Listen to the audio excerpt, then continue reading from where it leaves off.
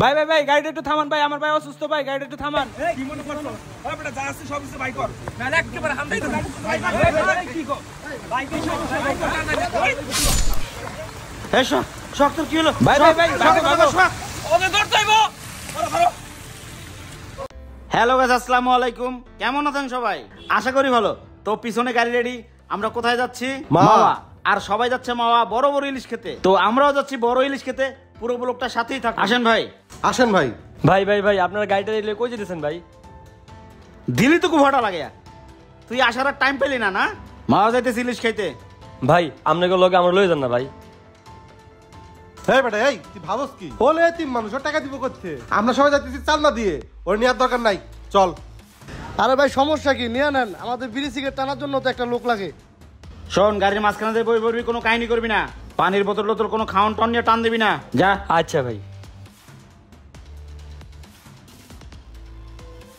তো হয়ে গেছে আমরা গাড়িটা ছেড়ে দিলাম মাওয়ার উদ্দেশ্যে। সবাই সাথেই থাকুন।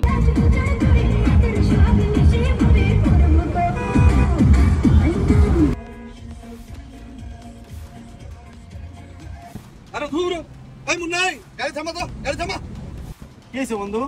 আরে বেটা এই ছোট লোকের বাচ্চারা মাঝখানে বয়স স্কিল লিখা থেকে দুনিয়ার গন্ধ করে কয়দিন ধরে গোসল করে না আল্লাহ জানে। ভাই তুই ওরে নামাই দে নাইলে আমারে নামাই দে। আমি তোকে লগে যাব না। ভাই ও নামাই দে। হ্যাঁ হ্যাঁ ভাই নামাজ দেন এই ছোট লোক। একদম যা। না পিছে যা।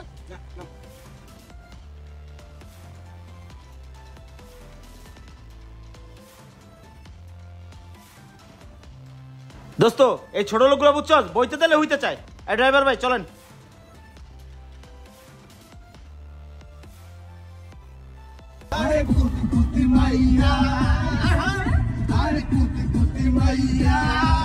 তো গাইস আমরা মজা মাস্তি করতে করতে প্রায় অর্ধেকটা বার চলে আসছি। এখন আমাদের প্রচণ্ড ক্ষুধা লাগছে তাই আমরা এখানে একটা ব্রেক নেব। তো অনেকক্ষণ চায়ের দোকান খুঁজতে খুঁজতে অবশ্যই একটা চায়ের দোকানে দেখা পেলাম এখানে আমরা দাঁড়াবো। চা রুটি আর বিস্কিট। দিয়ে চালাচ্ছি পরে মাওয়া গিয়ে ভাত খাব। অনেক ক্ষুধা লাগছে একটা কেক খাই। হয় বেটা কেক ধরো স্কিল যা বিস্কিট খা।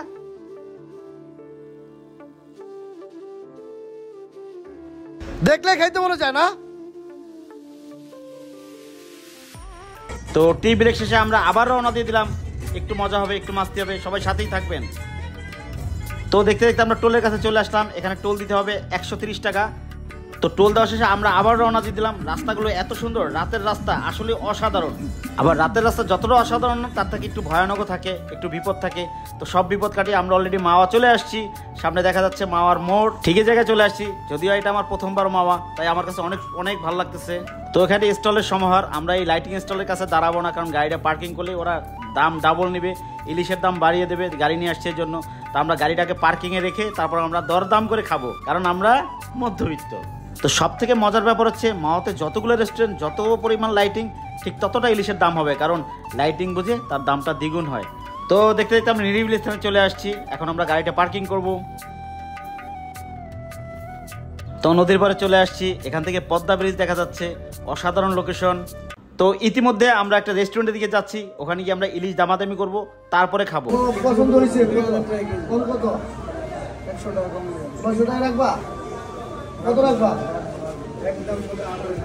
একদম।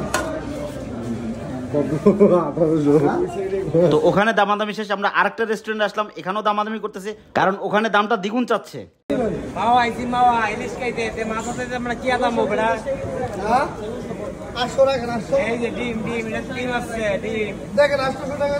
পাঁচটা নিবো। হ্যাঁ নিব পাঁচটা। আটশো টাকা কেজি বলা হয়েছে ষোলোশো টাকা কেজি যাচ্ছে। দেখা যাক কোনটা অনেক দেখা দেখির পরে দুটো ইলিশ পছন্দ হয়েছে। ইলিশগুলো একটু দেখতেও সুন্দর। আর এগুলো এক এক কেজি বা এক কেজি তিনশো গ্রাম বা চারশো গ্রাম এমন হবে। তাই আমরা আটজন দুটো ইলিশ খাব। অবশ্যই দুটো ইলিশ নিয়েছি অনেক দামাদামি করে। বাইশশো টাকা করে কেজি পড়ছে কারণ ইলিশগুলো হচ্ছে এক কেজির উপরে। এই জন্য দামটাও বেশি কিছু করার নাই। তো আমরা এখন ইলিশগুলো মেপে দেখব আসলে দামটা কত আসে।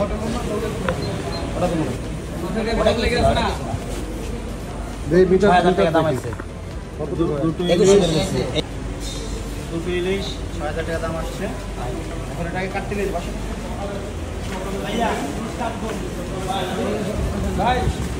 আমরা এখন ইলিশগুলো কাটতে দিয়ে দিয়েছি অলরেডি তো কাটাকাটি শেষে এখন বেগুন। এখন কথা হলো বেগুন ভাজা ছাড়া কি ইলিশ মজা লাগে?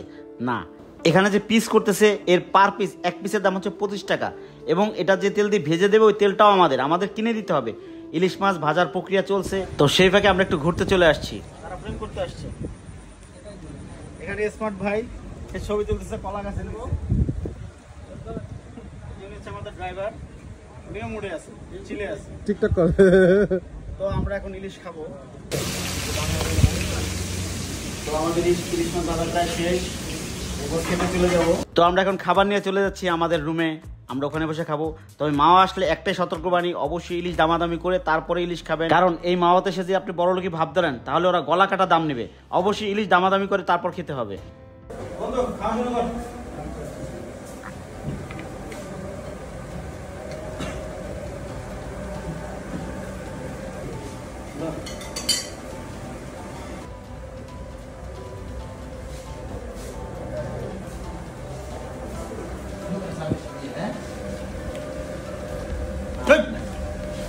কটা নিছ একটা করে ভাগে না, আড়াই হাজার টাকা জিনিস কিনে ওরা মাছ খাব এবার দেখা। হ্যাঁ বলুন দেখা।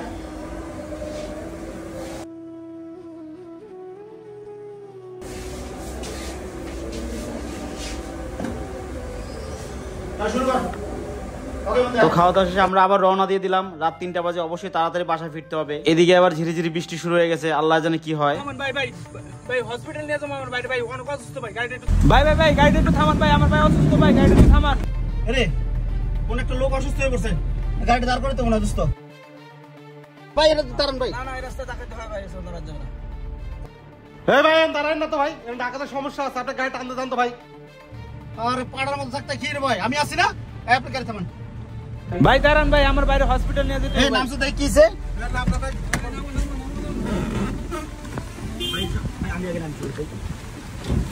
ভাই কিছে কিছে ভাই কিছে ভাই ভাই আমার ভাই অনেক অসুস্থ ভাই হসপিটাল নিয়ে যেতে ভাই অনেক- ক্যামেরা ধর ভাই, ভাই অসুস্থ। এই, এই, কি মনে করছ? ওই বেটা যা আছে সব কিছু ভাই কর। একেবারে এই, সারি, কি কর? কি সমস্যা? কর।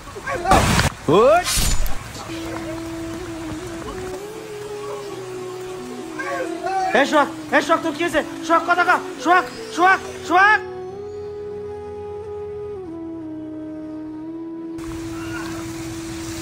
হইবো।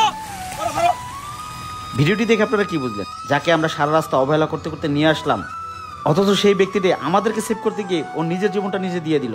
তাই কাউকে কখনো অবহেলা চোখে দেখবেন না, কারণ আমরাও মানুষ। হ্যালো গাইস এই ভিডিওটি বানানোর একটি উদ্দেশ্য, এটি ছিল একটা শিক্ষামূলক ভিডিও। মাওয়ার একটা পুরো ব্লগ করলাম, সেই সাথে একটা কন্টেন্ট এটা থেকে আপনাকে বোঝানো হয়েছে, আপনি মাওয়া গেলে অবশ্যই ইলিশ দামাদামি করে খাবেন।